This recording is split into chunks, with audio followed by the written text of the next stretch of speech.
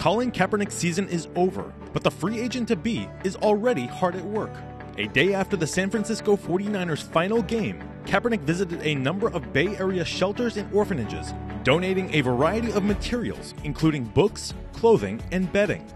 A couple days later, Kaepernick, a well known sneakerhead, donated a significant portion of his prized shoe collection. The collection is estimated to be worth in the thousands of dollars. Kaepernick was the target of immense scrutiny and criticism throughout a tumultuous season on and off the field.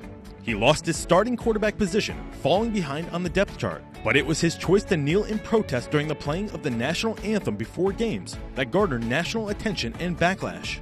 In taking a knee, by standing with those oppressed facing the daily onslaught of police brutality and racial discrimination, Kaepernick exercised his constitutional right to assemble peacefully, protesting for racial and social justice in America.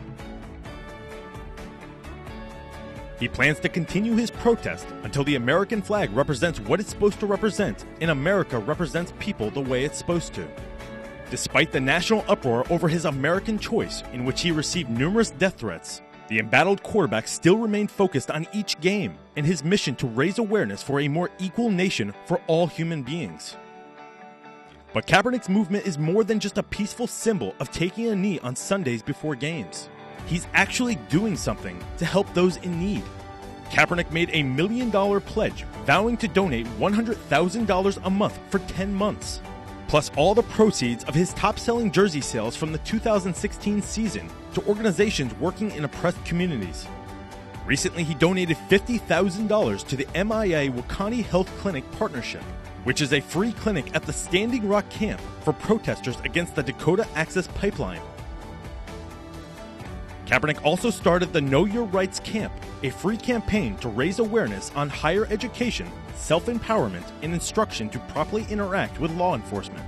Along with the millions of people's lives Kaepernick has touched in a positive way, he apparently inspired many of his teammates as well. Kaepernick, who regained the starting quarterback position en route to posting a QB rating, yards per game average, and touchdown percentage, all exceeding his career averages, was recognized by his teammates with the Len Eshmont Award, the 49ers' most prestigious annual honor. The team voted honor is given each year to the 49ers player who best exemplifies inspirational and courageous play. For FoxNews.com, I'm Rob Demetrius.